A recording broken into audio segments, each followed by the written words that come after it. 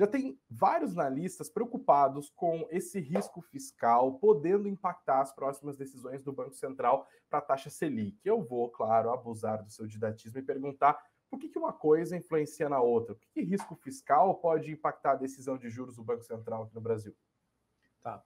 Basicamente, o risco país aumenta. Então, usando até o exemplo que vocês estavam falando agora há pouco sobre o estrangeiro, né, que você perguntou que, como que está o clima lá fora, o estrangeiro olha e fala assim, bom, eu tenho um cenário hoje de dívida que é X%, o Brasil está tá alavancado, mas é, sei lá, vou chutar um número aqui, 60% do PIB, e só que quando ele faz as contas, ele vê que em pouco tempo essa dívida pode chegar a 90% do PIB. Ele vai naturalmente olhar. Só para precisar né? o número, são 76, está na minha cabeça, no fim desse Boa. ano. Boa. Boa. É, mas assim, eu quero dizer no sentido de se ele vê uma aceleração muito forte na dívida, né, ele já vai olhar com outros olhos, e o próprio Banco Central já falou, né, diversas atas aí, inclusive, acho que desde o começo do ano ele já coloca o risco fiscal como um risco altista para a Selic. Então é meio que ele fala assim: bom, é, você, vai, você vai aumentar os gastos por aí, eu vou aumentar o juro por aqui para compensar isso daí que você está fazendo. Né? E entra nesse círculo vicioso que vocês estavam comentando aqui, eu concordo também com a análise da Rafa, e isso, para renda fixa, acaba trazendo um lado positivo e um lado negativo. Né? O negativo é que, para a economia como um todo, acaba prejudicando, né? Você, em, em várias é, variáveis econômicas, você tem uma, uma deterioração, né? mas no caso da renda fixa, para quem investe em ativo é, indexado a Selic, já que é o principal instrumento do Banco Central para aumentar e compensar esse risco fiscal, passaria a ganhar mais dinheiro. Então, até um exemplo, né? Hoje a gente tem uma taxa a 13,75% ao ano. Próxima reunião vai ser em dezembro. E se o Banco Central entender que no balanço de riscos dele o risco fiscal pesou mais, ele pode jogar essa Selic para, vamos supor, 14%. A pessoa que tem um Tesouro Selic, né, um, ativo indexado a Selic ou um CDI, é, rendendo todos os dias ali proporcional a 13,75, no dia seguinte da reunião do Copom, passa a render 14% proporcional. Então você aumenta ali 0,25% ao ano, né? Só que no rendimento diário proporcional. Então, o pós-fixado ele acaba sendo o mais seguro e nesses momentos o mais atrativo porque você está indexado, né? E se a gente tem é, como principal defesa o próprio Banco Central Autônomo, é, eu acho que o pós-fixado é uma, uma, alocação quase que estrutural na carteira de todo mundo aí, porque é, pelo menos para esperar passar essa indefinição, eu acho que faz bastante sentido. Como que funciona o rendimento desse pós-fixado? Explica para a galera que não entende como que funciona a renda fixa. Tá. Pegando o Tesouro Selic de exemplo, a gente tem lá, ele vai te pagar a Selic mais uma variaçãozinha lá, a gente vê no Tesouro Direto de 0,15%, por exemplo, né? Tirando essa variaçãozinha que é chamada de ágio ou deságio, você basicamente vai ter a Selic né, como rendimento. Se a Selic, a Selic tá 3... do dia que eu comprei o título ou a Selic da data do vencimento? A Selic acumulada, porque ele vai render diariamente. Né? O que acontece é o seguinte: ah, nesse tá. exemplo dos 13,75, você consegue fazer aquela conta de juros compostos lá, pegar esses 13,75 e transformar ele equivalente ao dia.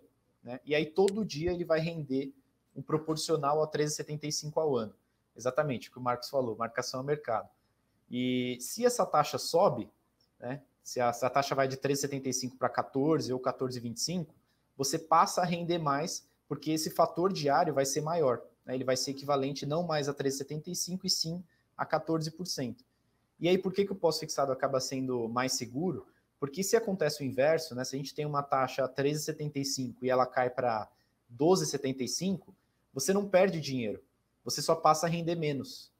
Então, por isso que o Tesouro Selic ele é muito utilizado para reserva de emergência, né? ele é mais indicado para isso porque você não perde dinheiro, você simplesmente, ao invés de render um, um, fator diário lá proporcional a 13 e pouco, você rende 12 e pouco em casos de uma Selic diminuindo.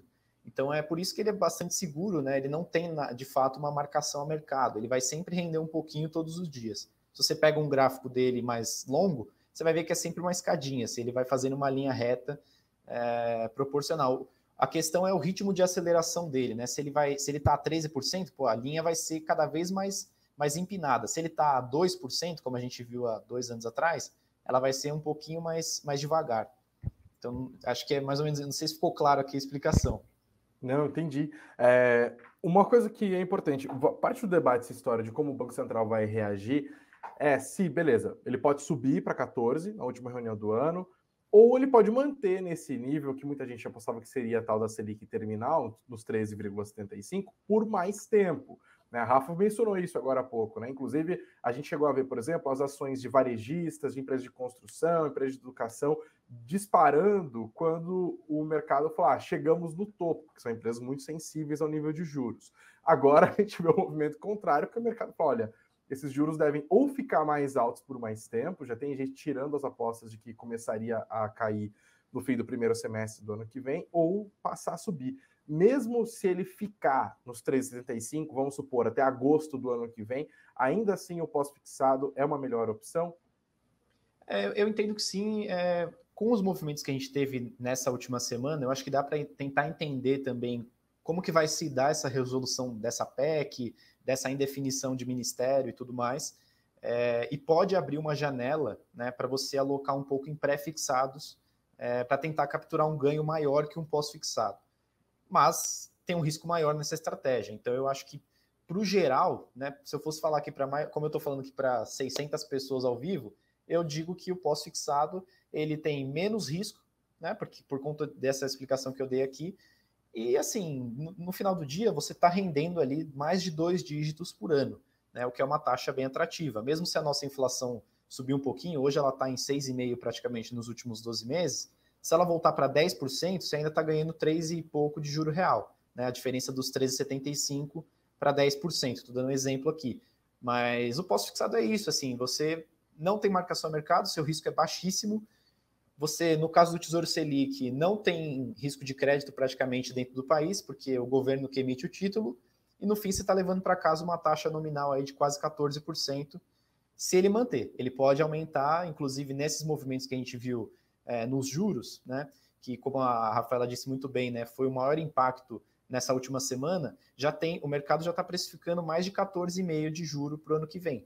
Então é como se o nosso ciclo de, de alta que tinha acabado nessa última reunião pode voltar é, no ano que vem. Mas acho que assim ainda é cedo para falar porque não é só o fiscal que pesa na decisão, né? O Banco Central ele tem o balanço de riscos, é, ele tem que olhar para os dois lados e não basta ele só falar não, o fiscal aumentou o risco, eu vou subir a Selic também, porque ele tem também uma recessão global para ficar de olho, né?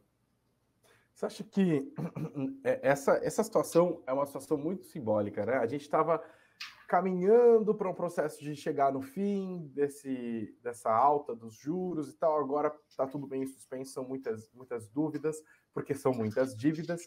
É, não podia deixar de fazer o, a piadoca.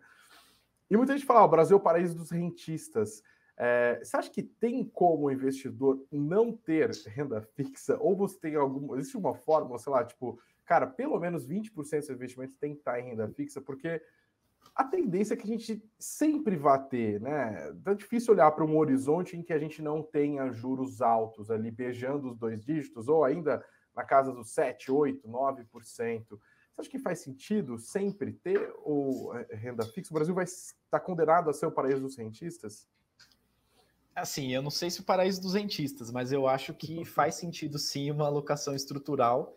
É, eu acho que em alguns momentos você pode diminuir o peso em renda fixa. E renda fixa não, não é nenhum geral. Eu costumo dividir entre renda fixa pós, que é essa que a gente está falando agora, renda fixa inflação, que é a IPCA, e a renda fixa pré. Então dá para você fazer essa subdivisão também, que eu acho que é o ideal. E aí, a partir disso, você define os percentuais. Então, em alguns momentos, eu acho que faz mais sentido você ter um pouquinho mais de pré, em outros momentos você tem um pouquinho mais de inflação, outros um pós-fixado. Agora sim, o pós-fixado eu acho que até para o investidor mais arrojado que existe, vai ter na carteira, porque nem que ele use aquilo lá como caixa, sabe? Ele fala assim: não, vou manter um uhum. pouquinho de caixa aqui da minha carteira, 10%, e quando abrir a janela de oportunidade aqui para aportes, eu vou lá e uso do meu caixa.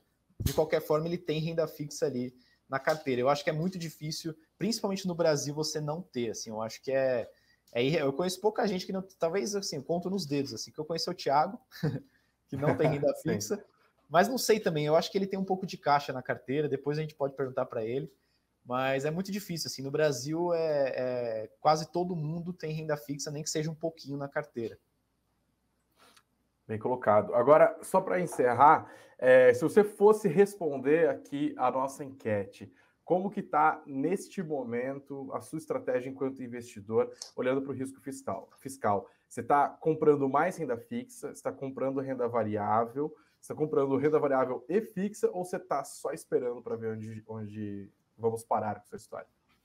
Nessas duas últimas semanas eu estou esperando, porque eu ainda não entendi muito bem o que, que é ruído, o que, que é realidade, né? A gente já teve até um, um alívio no, no mercado hoje, depois que saíram umas notícias aí do Guido Mantega Sim. saindo da, da equipe de transição. Então, eu ainda estou esperando, mas estruturalmente eu estou quase metade metade. Assim, eu tenho bastante renda fixa, é, até mais pós-fixado do que inflação e pré. Tenho um pouco de pré e no meio ali dos dois IPCA+.